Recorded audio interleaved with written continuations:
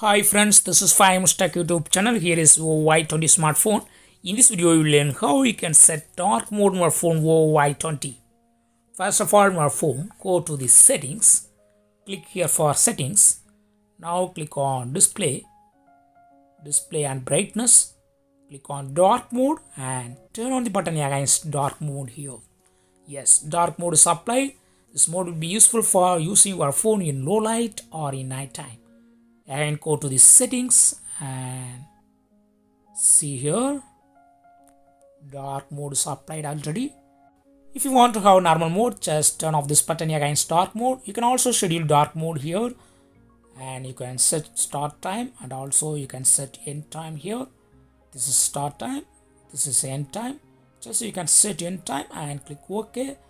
So between this time dark mode will be directly applied if you want to have instant apply just click on dark mode. That's all friends. Thanks for watching. Bye